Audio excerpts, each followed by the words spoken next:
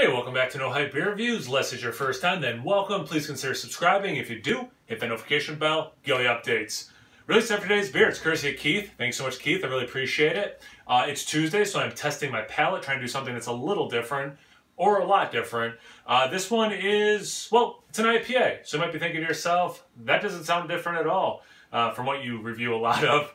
Uh, but this one, I, am going to argue, is a little different. Uh, it's from Hill Farmstead. It's uh, Self-Reliance uh, Czech Saaz. Farmstead, Farmsteed India Pale Ale brewed and dry hops solely with Czech Saaz hops and conditioned in oak barrels. So already it's a hop that I don't have a lot of, don't have a lot of in IPAs, and it was oak barrel aged. This is not normal for me. Uh, but it gets a little different, uh, or even more so different, um, I'm going to read the, the side and everything. So if you just want to review, you know, obviously fast forward if you are already doing that. Uh, Ralph Waldo, sorry, Ralph Waldo Emerson's essay, Self-Reliance, inspires and compels our persistent reflection, examination, and refinement. To that end, we present you with our Self-Reliance series of Farmstead, did I say Farmstead earlier? Farmstead, uh, single hop India Pale Ales. This release was brewed in April of 2018. It is currently September 2020, so it's been uh, a little over two years. Uh, gener generously hopped with Saaz sourced from Czech Republic, aged in oak puncheons for four months prior to bottling, and has been intentionally bottle conditioned until reaching its peak expression. Please consume within six months for best experience. So he did just release this. So it's, although it's been in bottles for over two years, uh, they have said this is at its peak now. Please consume within six months. Um, Hill Farmstead Brewery is a culmination of travel and insight, of friendships and explorations, and of realizing a sense of one's place. Upon the hand, hand-hewn land uh, of our forebears, we, we honor eight generations of Greensboro ancestry by thoughtful thoughtfully engaging with our heritage and with our distinctive beers. This offering is our effort to revive, diversify, and prolong the memory of the Hill Farmstead. Share, consider, enjoy. The hops were harvested 2017. Bottled like I, oh no, okay, it was actually bottled May 11th, 2018. Again, it was just released though, so over two years. Um, but I'm not seeing an ABV. Maybe I'm missing that. But anyway, definitely different from things I typically drink. is the short version. Thanks again, Keith. I appreciate it, man. I was excited about this.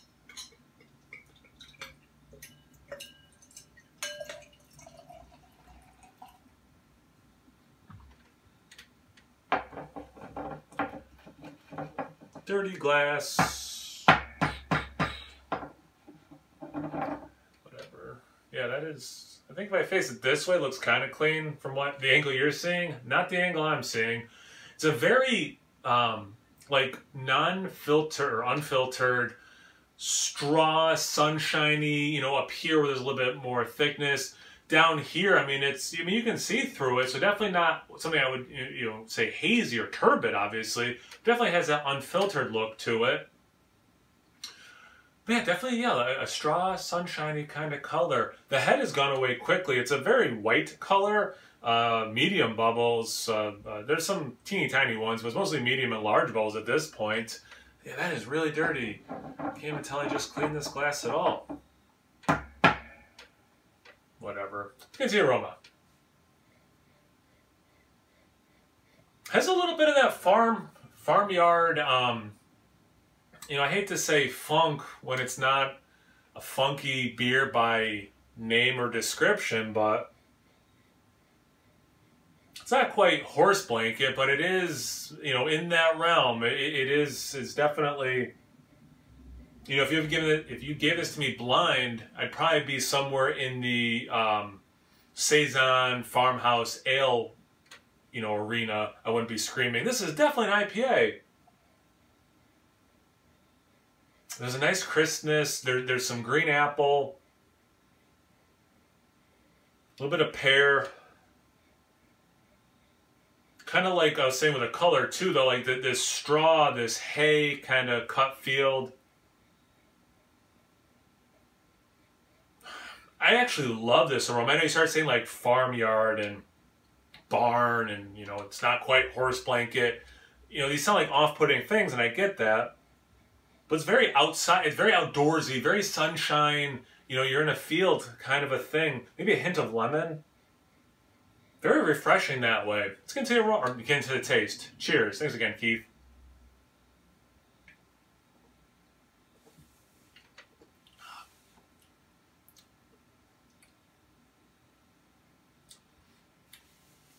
I'm glad I caught that lemon before the taste. Definitely had some of that lemon, or you know, I said the lemon in the aroma before I had a taste of it because it definitely has some lemon and some lemon zest. You are getting. I, am going to stick to that thing I was saying. I mean, it's very farmhouse ale e. You know, um, I don't know the the hops well enough, but it makes me think. And I don't know if this beer even has hops in it but it, it's invoking uh, the traditional Duvel, um, Duvel, however you pronounce it. Um, I don't know what hop or hops they use. I know they've done like a Citra version of it, but kind of reminds me of that. Um, you know, to use this terminology, like that old world, uh, um, you know, beer making, the the open fermentation kind of thing. It's it's definitely invoking that. I, I it's cool that they call it, you know, an India Pale Ale, but it is not smelling or drinking like that at all, at least traditionally what we think of that.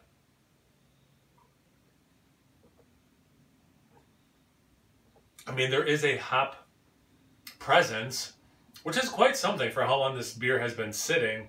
Um, you get some of that malt backbone, which is nice. It's a little crackery. Does not approach doughy. Definitely cracker. Uh, as I'm talking, you're getting a lot of lemon zest, hint, hint of grapefruit zest, but it's definitely more lemony. It's relatively dry in that finish uh, as well. And so the whole experience, again, is, is very, just like the aroma, is very much refreshing. Um, a lot of things going without being like uh, uh fatiguing on your palate. Um, it's one of those beers that is both easy to drink, but also kind of command your attention. Like, no, no, no, there's more going on. Like, sure, you could drink this quickly, but it, you would be mistaken for doing so because there are layers, you know, to it, and, and those are worthy of of contemplating. I feel like I'm coming across very pretentious in this beer review.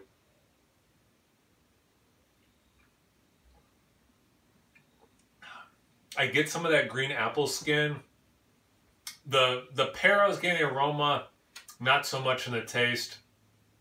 There is a cidery thing right before the finish, so it goes from that green apple skin, like your Granny Smith, like the skin of it, to there is this moment of, of cider.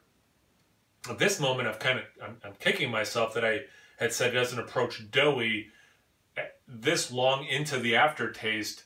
That malt is a little doughy, which is kind of cool um, because you're getting complexity from something I, in a style like this that I don't talk about the complexity of it, you know, and that is the malt. Um, you know, typically it's there just to balance out the hop presence so much. versus some of these other beers that are in the background that are these malt forward beers that you do kind of talk about the complexity of the malt. This is cool. This is a really good beer. Um, there's like I said, there's a lot going on. It's all accessible. I mean, it's pretty easy. You know what's cool about this too is it's pretty easy to identify the different things I am tasting uh, and what they are like uh, in, other drinks uh, uh and foods. Uh, yeah, cool beer. I, I think this really is in the spirit of what I'm trying to do on Tuesdays, where this is not something I typically drink. This is not my norm. This is not even particularly a normal beer because of all the things that have been done to it and what they're saying the beer is with the IPA thing. But um, yeah, this is awesome. This is really good. Thanks again, Keith. I really appreciate it, man. I, I see why you did the trip up there to grab them.